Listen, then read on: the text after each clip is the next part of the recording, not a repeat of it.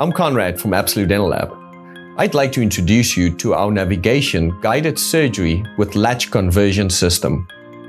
Most of these systems utilize a base or buccal bone guide as the basis for the surgery. After we've laid the buccal flap, we simply position the tooth aligner and latch that in place. After the base guide is positioned, we use that line for our bone reduction. After our bone is reduced, we slide our osteotomy guide in place and do fully guided surgery. Our systems are not dependent on one specific implant, but can utilize any implant system with a fully guided kit.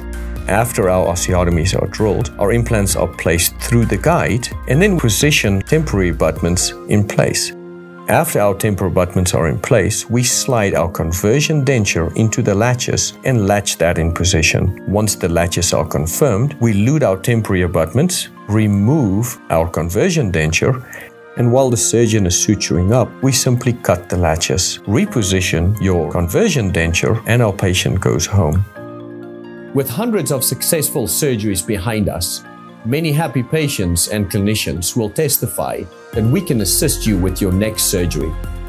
Click the link below to download your protocol manual or visit us at absolutedentallab.com and allow my team and I to show you why perfection is not optional.